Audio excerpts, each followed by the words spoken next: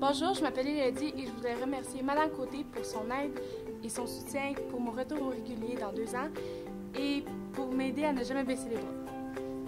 Bonjour, merci à Madame Côté et à Monsieur Mercier de croire en moi et merci euh, pour les périodes, même s'il y a eu des moments difficiles.